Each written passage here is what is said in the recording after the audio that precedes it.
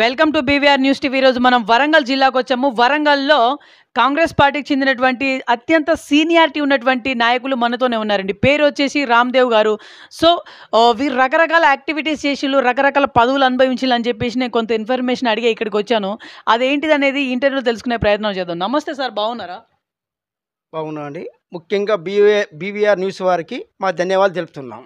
Okay sir. So గతంలో చూసుకుంటే మీరు ఉమ్మడి ఆంధ్రప్రదేశ్ ప్రభుత్వానికి మద్య విమోచన ప్రచార కమిటీకి డైరెక్టర్గా కొనసాగిల్లు. సో ఆ పర్టిక్యులర్ పీరియడ్ ఏదైతే ఉందో ఆ పర్టిక్యులర్ పీరియడ్లో మీకు చాలా గౌరవప్రదమైనటువంటి పేరు ప్రఖ్యాతలు పొందారని చెప్పేసి టాక్ ఉంది. దాని గురించి ఏ రకంగా ఎక్స్ప్లెయిన్ చేయబోతున్నారు? రెండు వేల ఏడులో కాంగ్రెస్ గవర్నమెంట్ ఉన్న పీరియడ్లో వైఎస్ రాజశేఖర రెడ్డి గారు గారి నాయకత్వంలో రాష్ట్ర కమిటీ ఉమ్మడి ఆంధ్రప్రదేశ్ ప- మద్య విమోచన ప్రచార కమిటీ డైరెక్టర్గా నేను కొనసాగినాను. ఆనాడు రాష్ట్రంలో జిల్లాలో అత్యధికంగా గుడంబ ఏర్లై పార్చున్న వేళలో ఆనాడు నూతనంగా కమిటీని ఏర్పడడం జరిగింది. ఆ కమిటీ సభ్యుడిగా నేను రెండు వేల ఏడు నుంచి పద్నాలుగో రెండు వేల పద్నాలుగు వరకు ఆ సభ్యుడిగా నేను కొనసాగి ఎన్నో కార్యక్రమాలను చేపట్టినాను.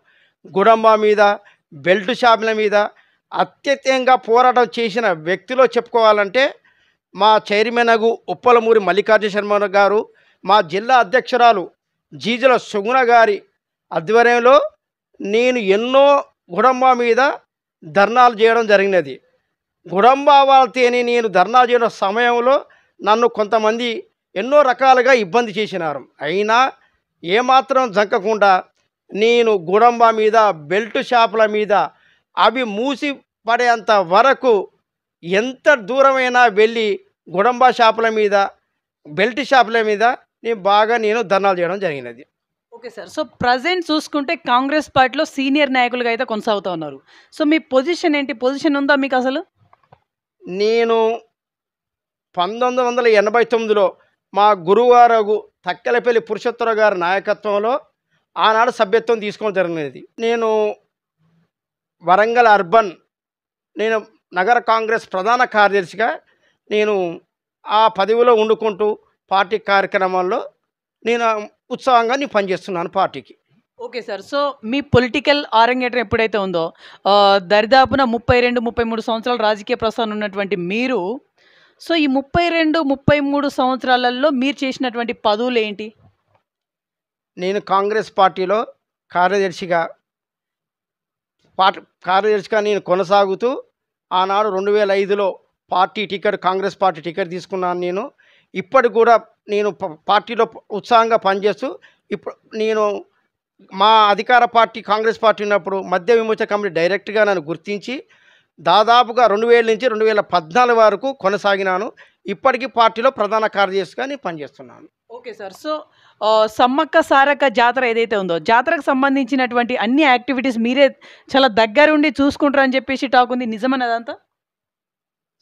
అమ్మవారిపేట సమ్మక్క సారలమ్మ జాతర పంతొమ్మిది వందల డెబ్బై ఏడులో మా తాతగారు కోడు రాజలింగమూర్తి గారు వ్యవస్థాపకం చేసినారు. అప్పటి నుంచి ఇప్పటి వారికి కూడా జాతర నిర్వాహకునిగా ఆర్గనైజర్గా కలెక్ట్ అక్కడ ఉన్న స్థానిక ఎమ్మెల్యే గారు కానీ అక్కడ ఉన్న అధికారులతోని నేను వాళ్ళ దగ్గర పని చేసుకుంటూ డెబ్బై ఏళ్ళలో రెండు వేల మంది వచ్చే జనాభాను ఈనాడు పది లక్షల జనాభా వరకు కూడా నేను ఆర్గనైజ్ చేసుకుంటూ ఇప్పటి వరకు కూడా జాతరను ఉత్సాహంగా నడుపుకుంటూ వస్తున్నాను.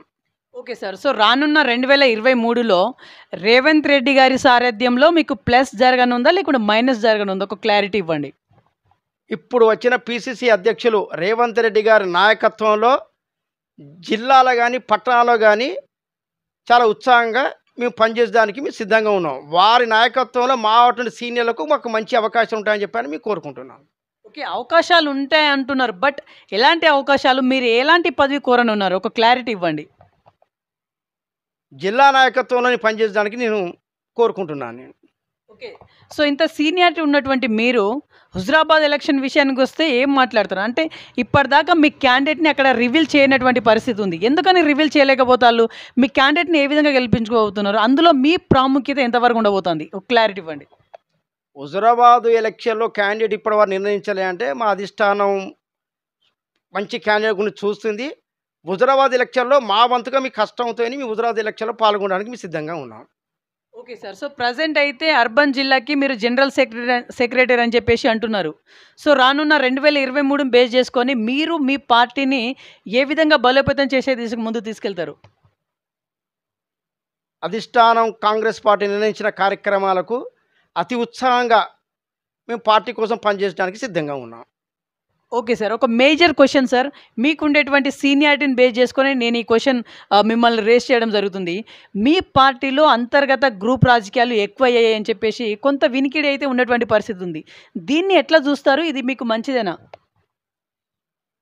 గ్రూపు రాజ రాజకీయాలు అనేది కాంగ్రెస్ పార్టీ ఆవిర్భావం అయిన కాంచి ఉన్నది. ఇది కొత్తగా వచ్చినదే కాదు.